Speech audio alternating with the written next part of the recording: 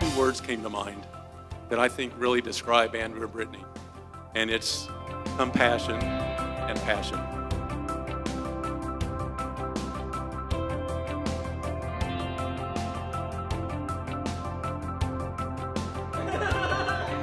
the limitless trust that you have in each other, the unshakable faith that you two exhibit when you two are apart, is truly a sight to behold.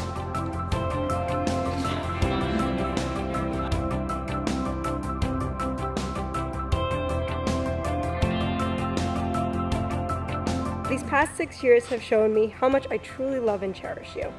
Your hugs are the warmest embraces I could imagine, and you are my favorite part to coming home. I am so happy to say today, Rip Van Winkle, you're my husband.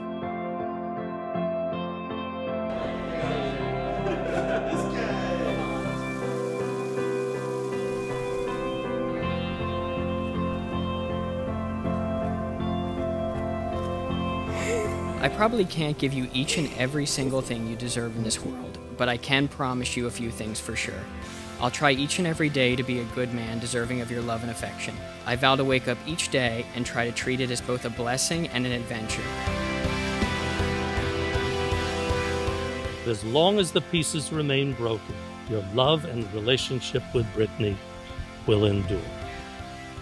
Mazel tov!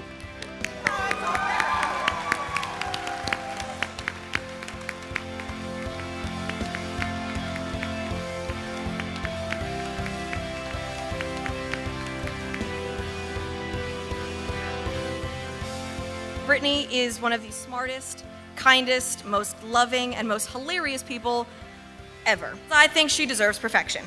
Andrew, I can't say you're a perfect man, but you are definitely the perfect man for Brittnay.